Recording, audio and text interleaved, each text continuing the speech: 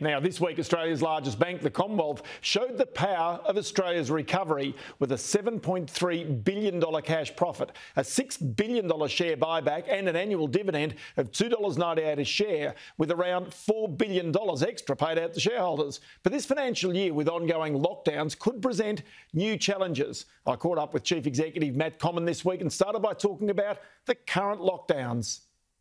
It's obviously against the backdrop at the moment of a lot of restrictions and lockdowns around the country. We're extremely focused on making sure that we're reaching out to our customers, letting them know that we're here to support them through this difficult period. We're receiving about three or 400 requests for uh, usually home loan uh, deferrals at the moment per day. A uh, smaller number from, uh, from our business customers.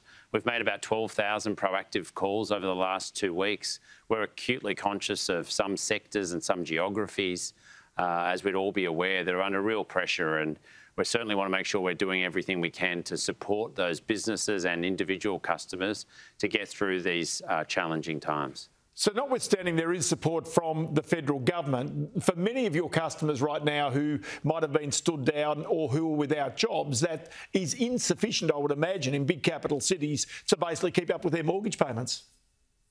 In some cases it is, Ross, and I mean, there is, as you said, very broad-based and effective support. People are able to get access to those payments very quickly, but sometimes those payments aren't, aren't fully sufficient depending on what their commitments were. It really does depend on individual circumstances. And of course, you know, the ongoing uncertainty, lockdowns, uh, we really feel that from our perspective, often what we're doing as well is just giving customers confidence and reassurance about the options that are available to them. That was very successful last year in the context of the deferral program.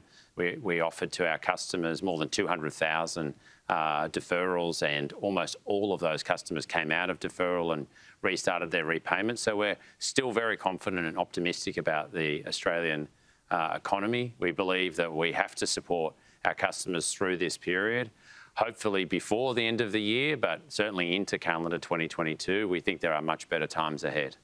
And you did talk about uh, the fact that you believe that there will be a sharp rebound like we saw leading into these lockdowns. I mean, that's picked up in your business lending, um, you know, up by three times the system, up by $11 billion over the past year. The economic recovery, both the, the, the pace uh, of that recovery, I think surprised many people. We were very supportive of the Australian economic recovery that enabled us to grow, as you said, at more than three times system.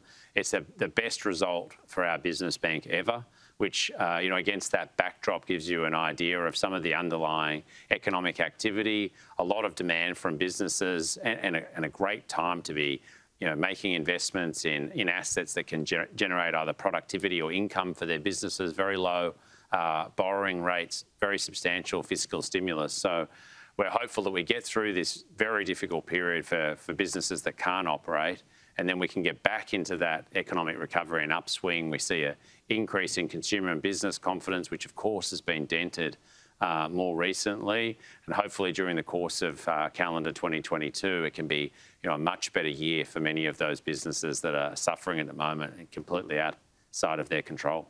You've announced uh, that you will hand back some $6 billion uh, to shareholders, along with almost $4 billion, more than $4 billion in, in dividends.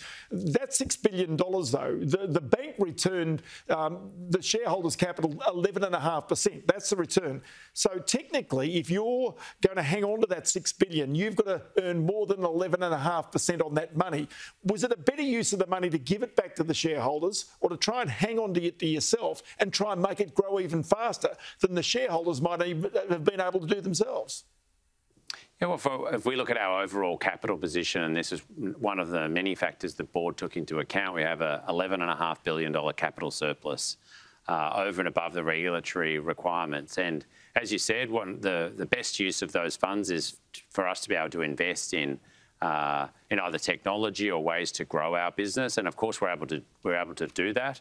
We also elected as part of the, that $11.5 billion surplus to return 6 billion through what's known as an off-market uh, buyback. It still leaves us with a very strong uh, capital surplus. And we think that combination of the off-market buyback and, of course, as you said, a, a $2 uh, individual uh, per share dividend uh, to all of our shareholders, which is more than 800,000 uh, Australian households who own our shares directly and, of course, millions more uh, who own that through superannuation. And we have a very uh, significant skew of our shareholders who live in Australia. So I, hopefully that's also good news for the Australian economy to put some of that uh, income back into the hands of our shareholders.